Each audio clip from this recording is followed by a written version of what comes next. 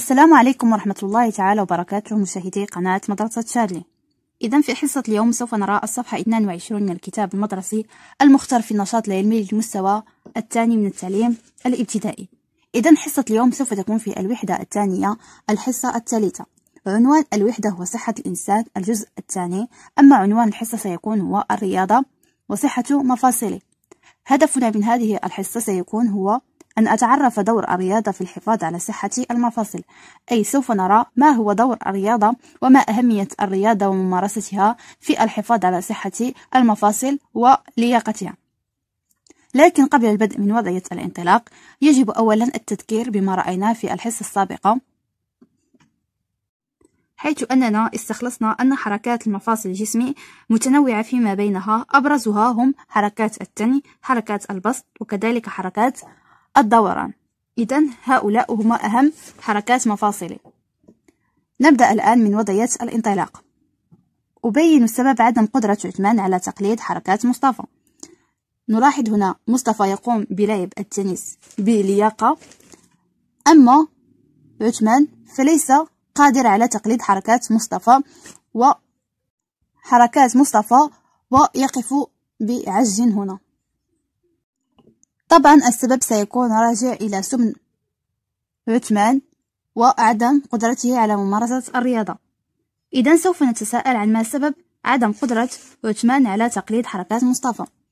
نكتب إذن ما سبب عدم قدرة عثمان على تقليد حركات مصطفى.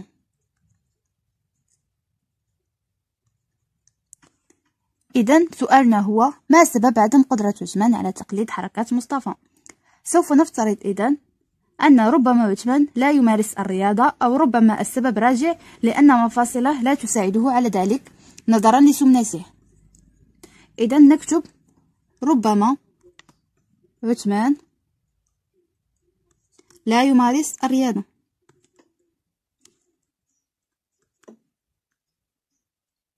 أو ربما السبب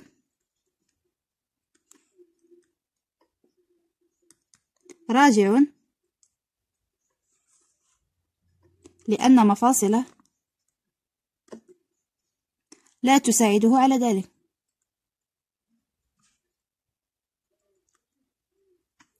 إذا سؤالنا سيكون ما سبب عدم قدرة عثمان على تقليد حركات مصطفى؟ أما الافتراض الذي وضعناه أنه ربما عثمان لا يمارس رياضة أو ربما السبب راجع لأن مفاصله لا تساعده على ذلك. أما الآن فنمر إلى أتحقق. ألاحظ ما يفعله مصطفى وعثمان وأضع العلامة إكس تحت من يحافظ على صحة مفاصله. هنا لدينا عثمان وهنا مصطفى. كما نلاحظ هنا أن عثمان يقوم بأكل أطعمة كثيرة.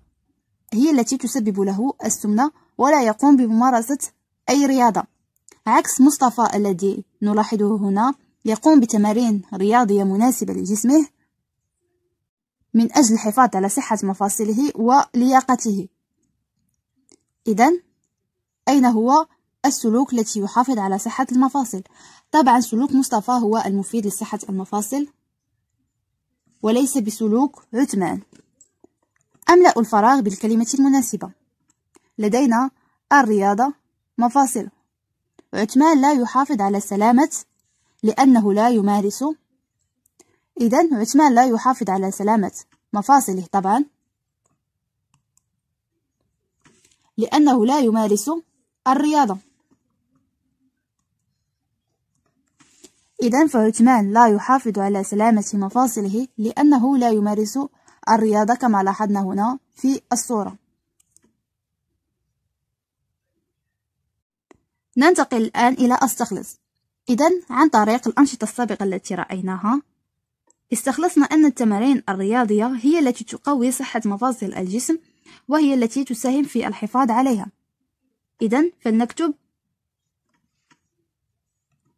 التمارين الرياضية.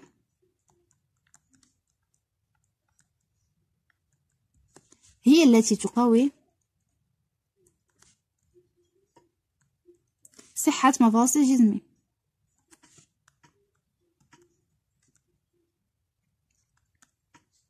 وهي التي تساهم في الحفاظ عليها.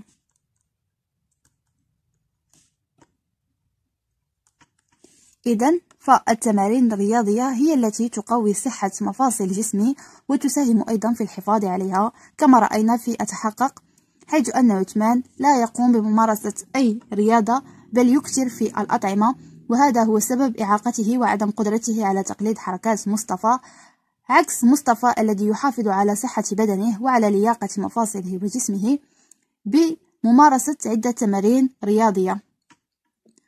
إذا الآن قبل المرور إلى استثمر نقوم بقراءة المعجم المكتوب لدينا هنا. إذا لدينا sport والتي تعني رياضة santé والتي تعني صحة. sport رياضة santé صحة. نمر الآن إلى استثمر. أكتب صحيح أو خطأ في الخانة المناسبة. لدينا العبارة الأولى أمارس الرياضة لأحافظ على صحة مفاصلي. طبعا هذه العبارة هي عبارة صحيحة لأن ممارسة الرياضة هي التي تحافظ على صحة مفاصلنا كما رأينا في فقرة أتحقق كما يفعل الطفل مصطفى. إذا هذه العبارة هي عبارة صحيحة. نمر الآن للعبارة الموالية لدينا. أتسلى بالهاتف المحمول ولا أمارس الرياضة. طبعا هذا سلوك لا يسمح به وهو غير جيد لصحتنا وصحة مفاصلنا. طبعا هذه العبارة هي عبارة خاطئة لأنه لا يجب علينا حمل أولا الهاتف المحمول لمدة طويلة ذلك لأنه يضر بصحتنا ويجب علينا ممارسة الرياضة من أجل الحفاظ على لياقة جسمنا وكذلك مفاصلنا. إذا هذا السلوك هو سلوك خطأ. أمارس الرياضة لأحافظ على صحة مفاصلي. صحيح؟ أتسلى بالهاتف المحمول ولا أمارس الرياضة خطأ. إذا هكذا نكون قد أنهينا حصة اليوم من هذا الدرس الرياضة وصحة مفاصلي. والتي قمنا بالاخت... باستخلاص فيها أن التمارين الرياضية هي التي تقوي صحة مفاصل جسمنا وهي التي تساهم في الحفاظ عليها. موعدنا إذن في الحصة القادمة إن شاء الله والتي سنرى فيها توقيت وجبات غذائي اليومية وتنظيمها. وسوف ندرس مدى أهمية تناول الوجبات الغذائية وتنظيمها على صحة الإنسان وعلى تركيزه. إذا مع السلامة.